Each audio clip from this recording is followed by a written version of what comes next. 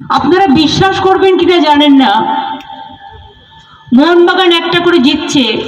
ইস্টবেঙ্গল বেচারা ওরা তো এবারে তৈরি করতে পারেনি ভালো করে। না, তার কারণ হচ্ছে, আমি ওদের দোষ দিচ্ছি না। তার কারণ হচ্ছে, মোহনবাগান, দেখুন, আমি যেটুকু বলব, আমার কাছে সবাই সমান। প্লিজ শুনুন। যখন ওরা শুরু করেছে then it was very late ওরা প্লেয়ার্স টিমটাও ভালো করে তৈরি করতে পারেনি কারণ ওদের আর্থিক অসুবিধে ছিল। কিন্তু মোহনবাগান যে খেলাটা আগেই খেলে দিয়েছে, সেটা হচ্ছে সঞ্জীব গোয়েঙ্কার তো টাকার অভাব নেই আর ক্যালকাটা ইলেকশন ক্যালকাটা ইলেকট্রিক কর্পোরেশনেরও কর্ণধার সিএসসি এবং ওরা নানা রকম ভাবে সাহায্য করে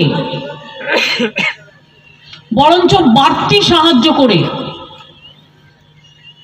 ক্লাবটাকে এগিয়ে নিয়ে গেছে নাম তার মোহনবাগান। এটিকে মোহনবাগান নয় আটচল্লিশ Mohun Bagan super champion, super giant. আমি অরূপকে বলেছিলাম, সঞ্জীবের সাথে কথা বলো। এটিকে টেটিকে শুনতে ভালো লাগে না। মোহনবাগান মোহনবাগান।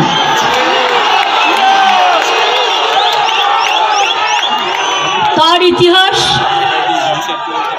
গোর্খাদের বিরুদ্ধে খালি পায়ের লড়াই করে এই মোহনবাগানকে এগিয়ে নিয়ে গিয়েছিলেন। তার নাম গোষ্ঠপাল। আমরা যেন ভুলে না যাই,